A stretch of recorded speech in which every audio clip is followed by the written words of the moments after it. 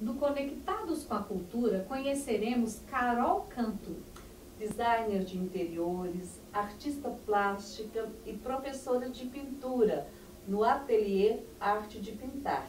Ainda criança, aos oito anos, ela começou a pintar e não deixou de aprender e pesquisar novas formas de se expressar. Hoje ela nos ensinará um pouco sobre o desenho e o seu tratamento. E também a olhar e identificar as formas geométricas que facilitam a sua execução. A tratar o desenho com lápis grafite, com lápis de cor ou com canetas coloridas. E experimentar possibilidades de acabamento. Ela tem um canal no YouTube, Carol Canto, com 30 aulas de desenho gratuitas. Fiquem atentos e vamos aprender com ela a aperfeiçoar técnicas de desenho.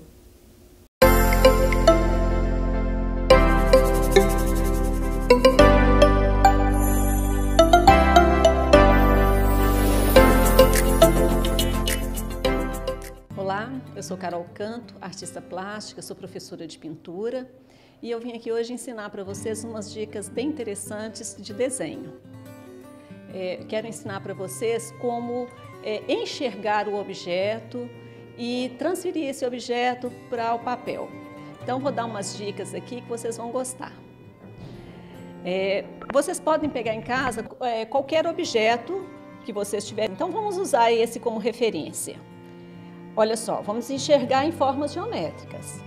Aqui em cima nós temos um triângulo, aqui nós temos uma elipse, aqui nós temos um retângulo, um quadrado, um círculo e outro retângulo aqui embaixo. Então agora vamos transferir isso para o papel. Então aqui, fez uma linha de equilíbrio para a gente ter referência de onde é que vai ficar esse desenho. Aqui embaixo, então, nós temos um retângulo, depois nós temos um círculo,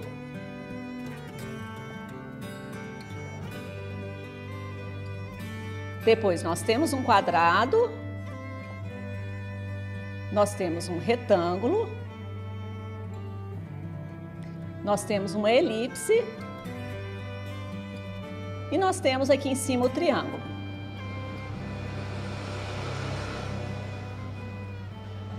Dividimos o desenho, agora nós vamos começar a realmente desenhar isso que a gente está vendo. Então vamos lá. Ó, vamos começar a dar forma para esse desenho. Aqui nós temos um corpinho, olha vai passar aqui. Olha, tá vendo como vai ficar no fácil desenhar aquela, aquela imagem ali?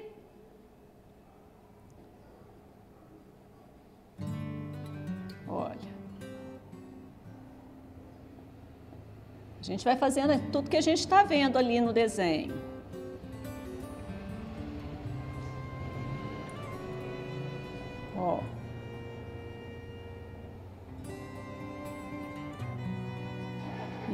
Gente acerta, a gente vai acertando as formas do desenho.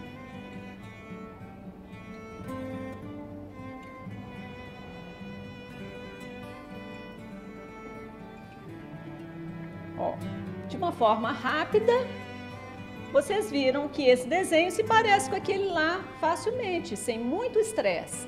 Quer caprichar mais? Pode. Aqui nós não temos muito tempo para ficar caprichando. E vocês podem também tratar esse desenho depois. O que é tratar? É colorir. Pode ser colorido com lápis de cor, pode ser colorido com a caneta e até com o próprio lápis grafite. Primeiro, vocês vão apagar essas linhas de referência que estão sobrando no seu desenho. Aqui, ó. Apagou. E aí pode tratar. Olha,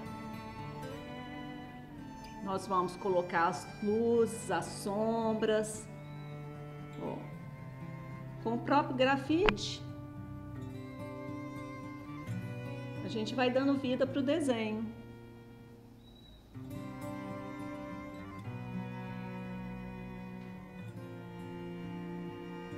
Observar que a sombra está sempre de um lado e a luz está sempre de outro lado. Observa lá de que lado que é que essa sombra está aparecendo mais. Para mim aqui ela está aparecendo desse lado.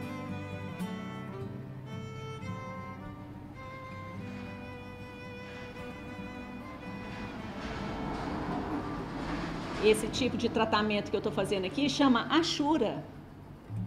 Olha, que é um tratamento feito com linhas. Mas a gente pode usar outros movimentos para fazer o tratamento também, que são outros tipos de achura. Como o objeto ali é um objeto liso, eu estou fazendo uma linha mais lisa, ó.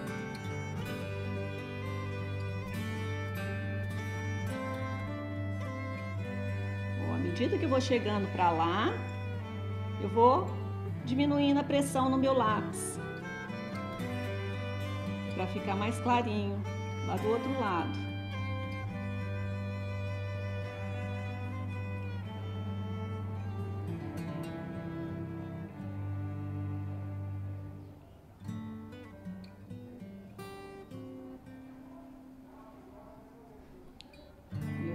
Embaixo também, ó, aqui embaixo também vai ter sombra.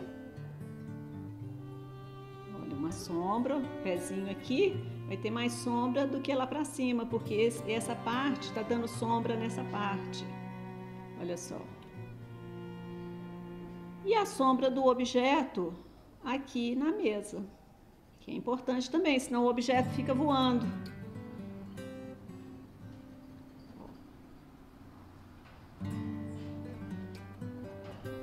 Legal. Agora, isso vocês podem fazer, olha, eu fiz um tratamento aqui, nesse, nessa, nesse desenho de cá, eu fiz o tratamento com lápis de cor. Mas vocês ainda podem usar outras, outros é, acabamentos. Vou mostrar para vocês. Aqui nós podemos ver vários tipos de achuras diferentes. Olha só, com lápis de cor, eu fiz essa achura é, bem escura. Aqui eu já fiz ela começando escura e veio clareando.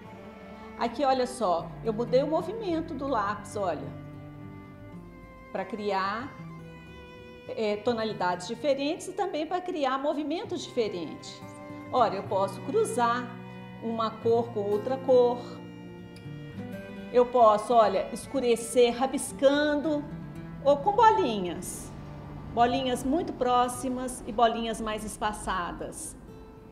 Olha só, rabisquinhos, aqui o rabisquinho foi se mesclando com outro tipo de rabisquinho. E aqui, olha, a diferença dessa achura. Olha esse, esfumado, quer dizer, eu fiz um pouquinho aqui com, a, com o lápis e depois eu vim com é, ou com o dedo. Esse eu fiz com o dedo, mas com o dedo tem que tomar cuidado. A mão tem que estar tá bem limpinha para não ter o óleo da mão. E olha só, aqui eu escureci o fundo e deixei o centro claro. A luz está aqui dentro. Aqui a luz está atrás, olha. Eu deixei a volta clarinho e o centro escuro. Aqui, olha, a luz veio aqui nessa direção, aqui em cima, olha. Escureceu as beiradas e tá aqui focada. Olha a luz aqui. A luz aqui nesse cantinho, quer dizer que lá ficou a sombra. Olha, uma luz já veio mais para frente. Olha só, aqui não tá mais tão escuro quanto aqui embaixo. Olha os objetos, é, tipo uma caixa. Observar isso também. Quando a luz vai bater, ela vai é, provocar sombras em lugares diferentes. Olha, essa luz está mais para trás, então a frente ficou escura. Aqui a luz está mais aqui, olha, né? Veio aqui para cima, aqui, ó, ela iluminou aqui em cima, iluminou essa parte também, e essa ficou na sombra. Aqui a luz, né? A luz veio de baixo, então aqui em cima ficou escuro, olha, Aqui ficou clarinho, aqui ficou mais clarinho. Olha, a luz veio lá do fundo da caixa. Então, lá atrás ficou claro e aqui à frente dela ficou escuro. Isso é muito importante no desenho também. Agora, uma dica bem interessante. A gente, quando olha para esse lápis branco lá na caixa de lápis de cor, a gente logo pensa, para que, que serve esse lápis? Porque a gente está acostumado a desenhar no papel branco. Mas quando a gente desenha no papel colorido, olha só, o lápis branco vai dar um efeito bem interessante. Então aqui eu fiz com lápis branco, esse tratamento aqui, como se fosse uma, uma coisa que caiu aqui e a água foi para cima, né? a água espirrou. E eu usei o lápis escuro para realçar algumas áreas aqui que eu queria que tivesse mais profundidade. É a gente colorindo no lápis, no papel colorido. Aqui, nesse papel colorido aqui, olha, tipo uma é, papel de embrulho ou uma caixa de sapato que você não quer mais, você pode desenhar nela também. E olha só, eu usei lápis colorido, lápis branco, olha aqui, para fazer alguns efeitos aqui nesses botões. E lápis de outras cores para poder realçar. Aproveitei a cor do papel para o efeito desse, desse sapato. E isso vocês podem criar muita coisa interessante, tanto com os lápis, como também com as canetas. É, vocês podem também fazer o acabamento nos desenhos usando canetas coloridas. Aqui nesse desenho, por exemplo, eu usei a caneta preta comum, mas vocês podem usar as canetas coloridas, qualquer desenho que vocês forem fazer. Por quê? Porque o movimento aqui de achuras que vão colorir o seu desenho vai ser a mesma coisa do lápis, seja colorido, lápis de cor ou lápis grafite, Olha, a achura vocês podem ir repassando, olha, com a caneta e criando o claro e o escuro no seu desenho. Quero mais clarinho, eu deixo menos linhas, linhas mais espaçadas. Quero escurecer aqui mais um pouquinho. Olha, venho trançando a linha aqui. Olha, quero escurecer mais. Ah, mas eu não quero fazer é, traços, não.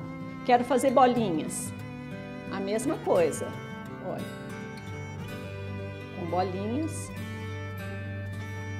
Eu vou criando o meu escuro. Com bo muitas bolinhas juntinhas uma da outra. Ó. Ou eu vou criando as zonas de claridade com as bolinhas mais afastadas. Quanto mais eu afasto as bolinhas, mais claro vai parecer. Eu posso misturar bolinha com tracinho, eu posso misturar com. Aqui eu tinha linhas grandes, eu posso pôr pequenas linhas. Quando elas estão separadas, vai parecer claro. Quando elas estão próximas, vai parecer escuro.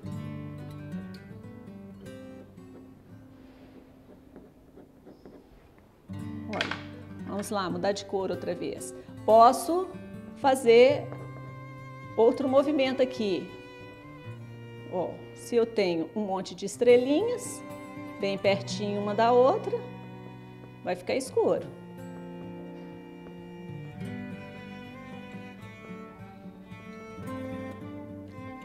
Se eu começar a afastar essas estrelinhas, vai ficar claro.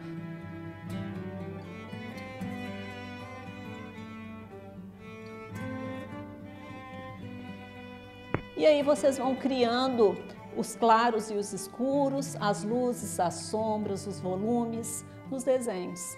Espero que vocês tenham gostado dessa aula de hoje.